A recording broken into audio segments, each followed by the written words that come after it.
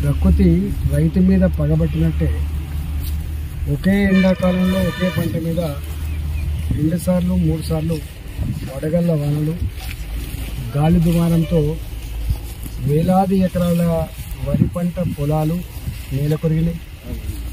వేల ఎకరాల మక్క పెరళ్ళు గరళకిరిగినాయి పడిపోవడం కాకుండా గరళకిరిగిపోయినాయి మామిడి తోటలు చేతికి రావు మిర్చి తోటలు మొత్తం నేలవాలిపోయినాయి ఒక్క మాటలో చెప్పాలంటే మార్చిలో కురిసినటువంటి వడగల వానలు కానీ ఈ ఏప్రిల్ మాసంలో కురుస్తున్న వడగల వానలకు ఈ ప్రాంతంలో హుజరాబాద్ ప్రాంతంలో ఈ పరివాహక ప్రాంతాల్లో వేల వేల ఎకరాల పంట పొలాలు నోటికాడికి వచ్చినటువంటి పంట చేతికి రాకుండా పోయింది.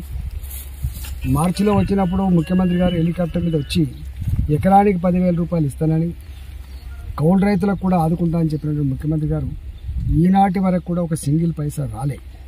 ఇవాళ రెండవసారి నష్టానికి అగ్రికల్చర్ అధికారులు గ్రామాలకు పోయినప్పుడు అయ్యా మొన్న రాసుకపోయినా రూపాయి రాకపోయా?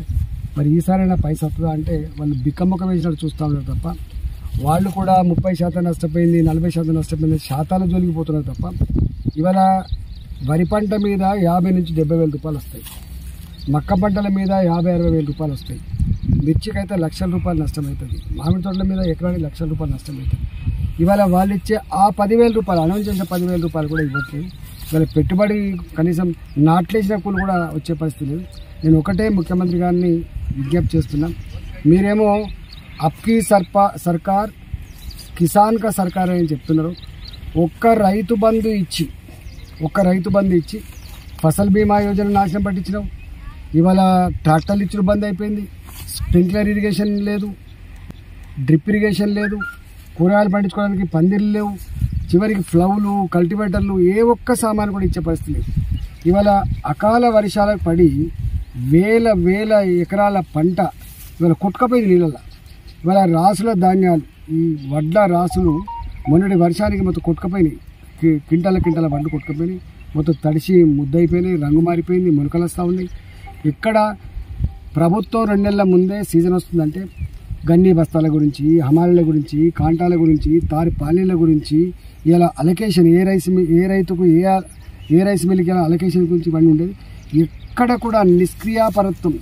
కేసీఆర్ గారికి ప్రగతిభవన్లో కూర్చొని రాజకీయాలు చేయడం తప్ప రైతులు రైతుల పంటలు పంట నష్టాల గురించి మాత్రం ఆలోచించేటువంటి తీరిక లేకుండా పోయింది. ఏ మంత్రి కూడా పట్టించుకున్న పాపాన పోతున్నాడు చివరికి ముఖ్యమంత్రి గారి ఆదేశాల కోసం కలెక్టర్లు వేడి చేసి ఇవాళ అది కూడా చక్కగా జరుగుతుంది. నేను నాలుగు డిమాండ్ చేస్తున్నాను ఒకటి రంగు మారిన ధాన్యాన్ని కూడా పూర్తిస్థాయిలో ప్రభుత్వమే కొనాలి. రైస్ మిల్లలకు పోయినప్పుడు తడిసిందని మాయిచర్ ఎక్కువ ఉందని కలర్ మారిందని ఇవాళ రెండు కిలోల నుంచి మొదలుపెట్టి ఐదు కిలోల వరకు కట్ చేస్తున్నారు. ఎక్కడ కూడా కటింగ్ చేయకుండా తీసుకోవాలి. మూడోది రైతు తీసుకుపోయిన పంట మూడు మూడు రోజులు నాలుగు నాలుగు రోజులు మిల్లులలో ఉండేటువంటి ఆస్కారం ఉంది కాబట్టి ఆ మిల్లులలో ఎప్పుడు పోయినా ఎందుకంటే వెయిటింగ్ ఛార్జెస్ పడి ట్రాక్టర్ కిరాయి కూడా పెరిగే ఆస్కారం ఉంటుంది కాబట్టి పోయిన ధాన్యం వెంటనే దించుకునేటువంటి ఏర్పాటు చేయాలి. కళాలల్లో ఏదైతే కొట్టుకపోయిందో దానికి నష్టపరిహారం తప్పకుండా రైతులకు చెల్లించాలి. ఇవాళ పంట కూడా ఏవైతే మొత్తం కోతకు వచ్చిన పొలాలని కూడా కొట్టుకుపోయినాయో కొట్టుకపోయినాయో అవన్నిటి కూడా తక్షణమే ఈ ప్రభుత్వం ఏం చేసే పదివేల రూపాయలు ఇస్తుందా మరి ఇరవై రూపాయలు ఇస్తుందా మేమైతే డిమాండ్ చేస్తా ఉన్నాం. ఎకరానికి యాభై వేల రూపాయలు చొప్పున ఇవ్వాలని చెప్పి డిమాండ్ చేస్తాం.